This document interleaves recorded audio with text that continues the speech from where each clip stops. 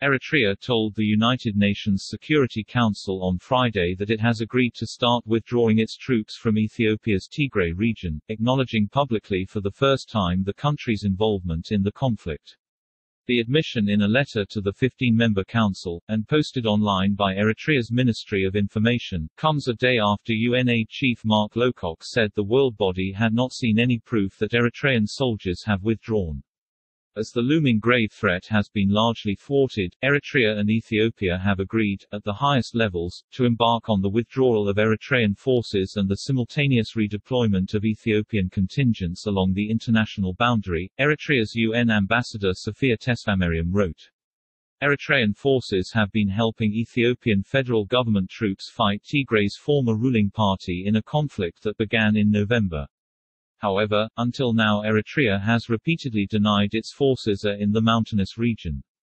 Ethiopian Prime Minister Abiy Ahmed last month acknowledged the Eritrean presence and the United Nations and the United States have demanded that Eritrean troops withdraw from Tigray.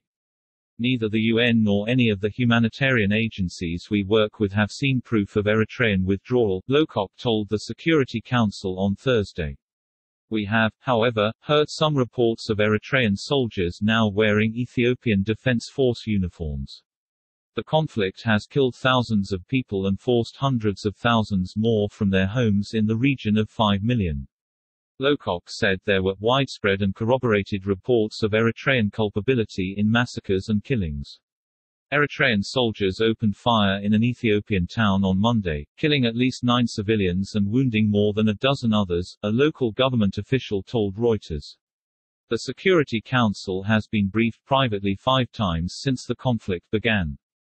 According to Lowcock's briefing notes on Thursday, he told the body that sexual violence is being used as a weapon of war, the humanitarian crisis has deteriorated in the past month and people are now dying of hunger in Tigray.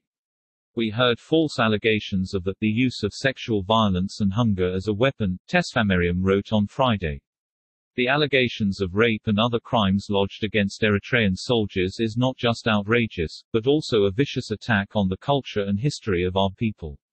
She said the priority should be the delivery of aid to civilians in Tigray.